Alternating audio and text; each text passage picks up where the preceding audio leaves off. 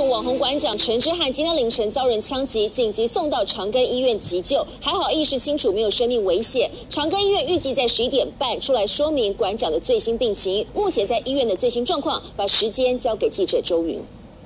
好，观众，网红馆长陈之汉在今天凌晨两点的时候是被人连续开了三枪，那被击中的部位是小腿还有手臂。那目前馆长人正在林口长庚医院正在进行手术当中。好了，呛辣的个性让他累积了不少粉丝，而且仔细看看他蓝绿都骂，敢于批评时政。我们带你看的是之前还记得吗？在九合一选举的时候，他曾经跟韩国瑜一起开直播，当时帮韩国瑜累积了不少高人气。但是后来随着韩国瑜决定去选总统的时候，他也很生气了，直接呛骂。韩国瑜说实在是卑鄙无耻，太下流了。而针对蔡总统捐给侍卫呢，两千九百四十四万台币，他也很不高兴。他说这实在是凯子的行为。还有最近大家很关注是，马前总统还有蔡英文针对了两岸问题互呛。他也相当不客气，他说呢，他觉得马英九根本是搞不清楚状况，还说国民党应该找马英九或是韩国瑜回归当党主席，这样国民党就会彻底的完蛋了。可以看到，其实馆长蓝绿他都开骂的，甚至有时候跟政治人物会闹上了法院哦。还记得吗？之前曾经为你报道过，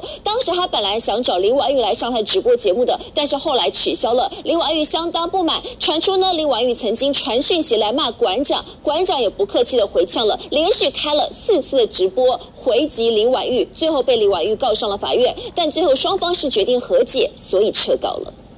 一连串的美中角力战，先带你关注：解放军往南海发射了四枚的导弹，但是美国不客气的回击了，他们准备好面对任何的威胁。详细状况，把时间交给记者黄晴。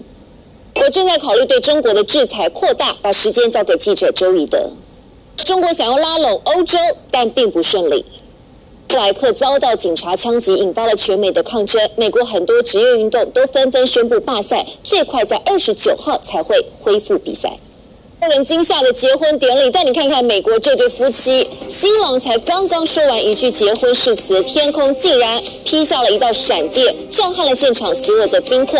更多新闻内容持续锁定《年代午报》。